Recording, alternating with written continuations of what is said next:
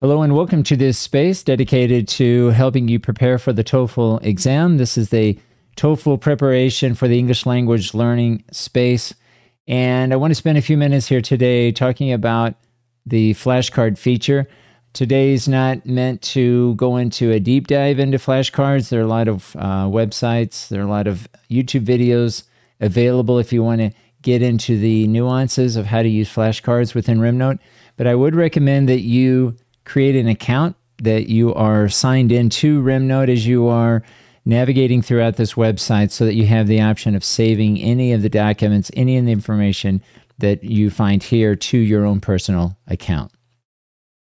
So I wanted to talk about using the flashcard feature, not so much how to create your own flashcards, which you certainly can do within RemNote, but uh, simply how to use flashcards in this space uh, a lot of the documents here, you're going to have an option of accessing flashcards that relate to key terms uh, relevant to that particular document.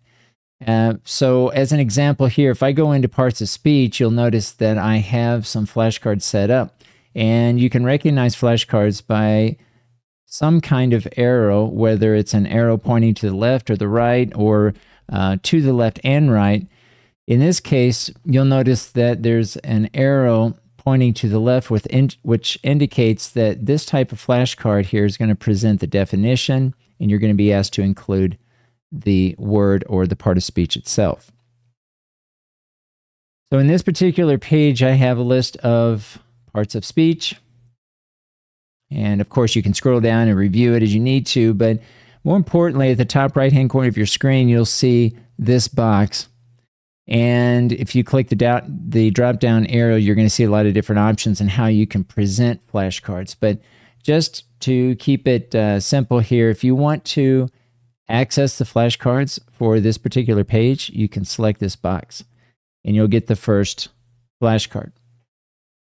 Now, in this case, again, we have presented the definition of the word, and the question mark indicates what kind of answer it's looking for.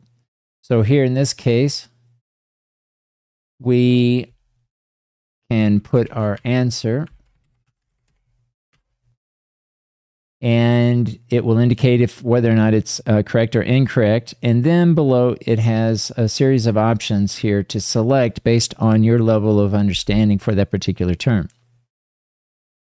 Now, what's important to realize here is if you don't enter exactly the correct answer, it will say uh, incorrect. So if I had put adjectives plural, it would have probably marked it incorrect.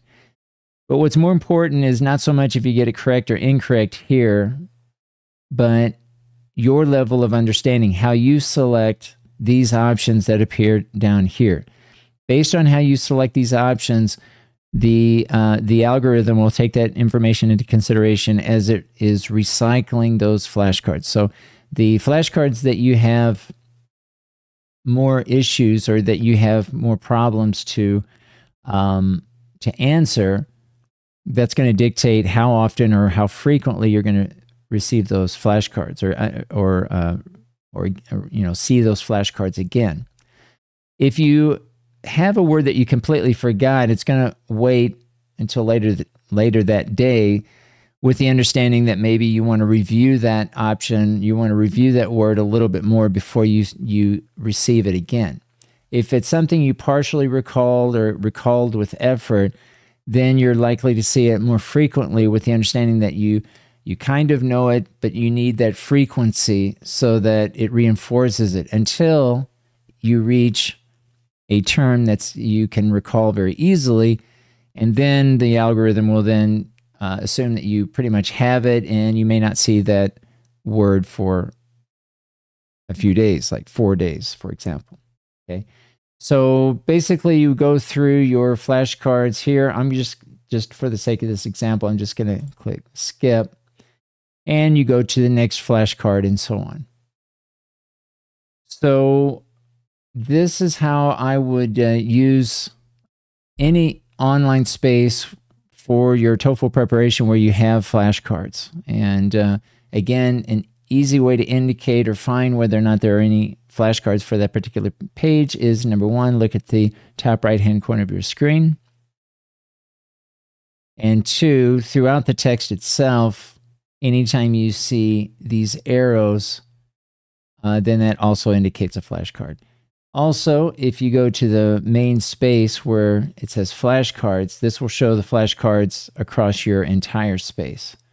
But I think for simplicity's sake, as you're going through uh, this space and you're going through the different uh, documents, all intended to help you prepare for the TOEFL exam, uh, you're likely to see different flashcards that are very specific to the areas here of uh, how you want to improve uh, your preparation. So, this has been just a very quick overview of how to use flashcards for this space, TOEFL preparation for the English language learner. And uh, if you have any issues or questions specific about RemNote and you want to reach out to me, feel free to do so.